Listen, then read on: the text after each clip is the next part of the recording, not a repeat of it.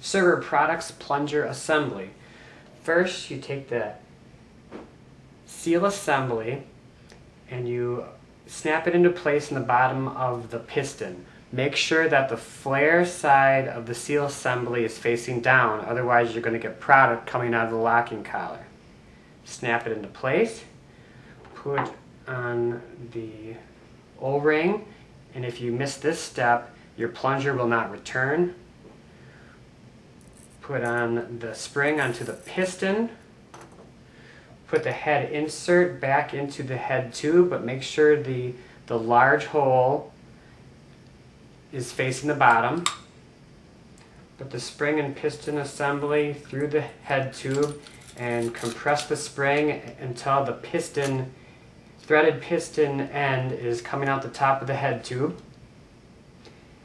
Take the knob and secure into place. And there you have a fully assembled Server Products plunger.